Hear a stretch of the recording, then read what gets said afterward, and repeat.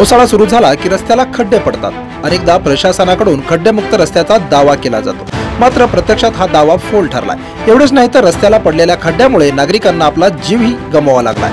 गंगाखेड तालुक्यातील अंतरवली गावामध्ये प्रशासनाचा असाच गलथान कारभार समोर आलाय. या गावातून बीड आणि परभणी जिल्ह्याला जोडणारा महत्त्वाचा रस्ता जातो. दोन वर्षापूर्वी या रस्त्याला भला मोठा खड्डा पडला होता.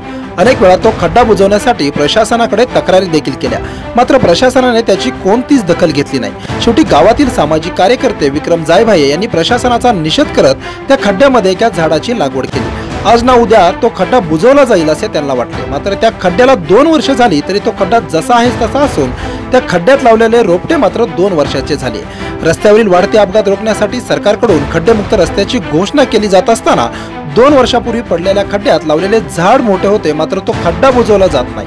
या खड्ड्यामुळे कित्येक वेळा अपघात झाला असून रात्री अपरात्री प्रवास करत असताना मोठा अपघात होण्याची शक्यता आहे. त्यामुळे प्रशासनाने दखल घेऊन लवकरात लवकर खड्डा बुजवण्याची मागणी ग्रामस्थांनी केली आहे.